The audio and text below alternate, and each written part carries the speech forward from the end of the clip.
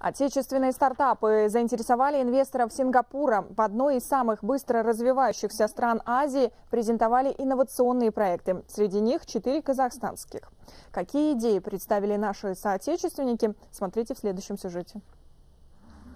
В прошлом месяце основатель сингапурского акселератора Хью Мейсон посетил Астану и отобрал четыре казахстанских проекта для участия в презентации перед ведущими венчурными фондами Азии. Один из этих стартапов – электронный кошелек, с помощью которого можно оплачивать более 500 видов услуг и сервисов. Другой проект способен объединить людей с общими интересами.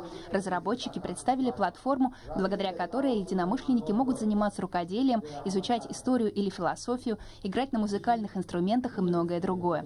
Следующий Следующий проект не менее интересен. Это уникальная система видеоанализа. Ее создатели Макжан Каранбай и Бейбут Амиргалиев считают, что камера может не только обеспечивать видеонаблюдение, но и как робот анализировать информацию.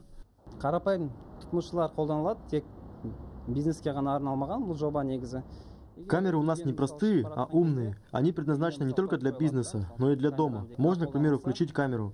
И если в ваше отсутствие дома что-нибудь случится, то на ваш телефон придет сообщение. А если установить такую камеру в магазине, то она сможет проанализировать, сколько человек в нем находится, сколько каждый из них сделал покупок.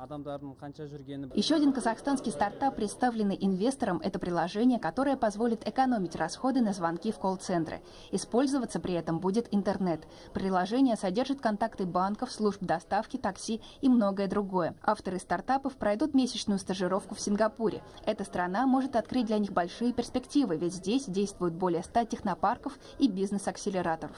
Цель сегодняшнего мероприятия была э, в том, чтобы э, показать казахстанским стартапам э, новые возможности в Азии, в Юго-Восточной Азии. Если посмотреть на рынок Казахстана, то он с точки зрения населения достаточно небольшой, всего 16 миллионов.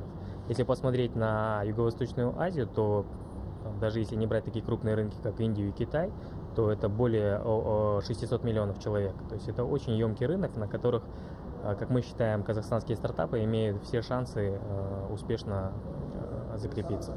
После казахстанские разработчики намерены предложить свои проекты и в таких странах, как Малайзия, Таиланд, Филиппины и Индонезия. Мадина Алданова, Айнур Бердыбай, Шарунизам Сапи, Сингапур.